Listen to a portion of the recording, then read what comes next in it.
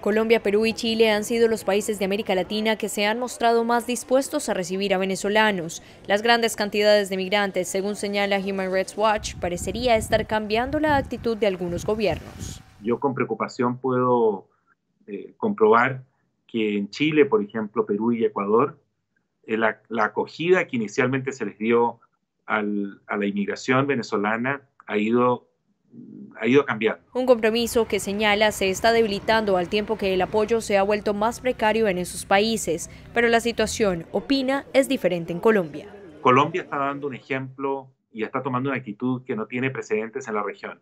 Yo espero que Colombia no se quede sola.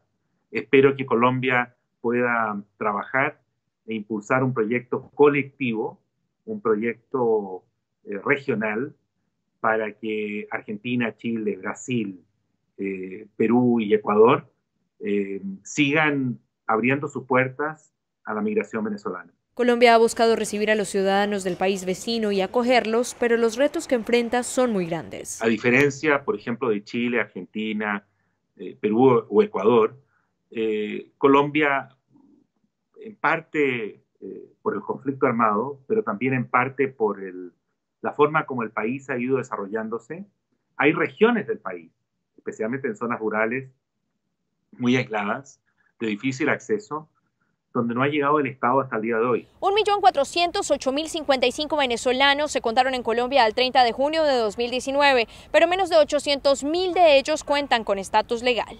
Laura Sepúlveda, Voz de América, Nueva York.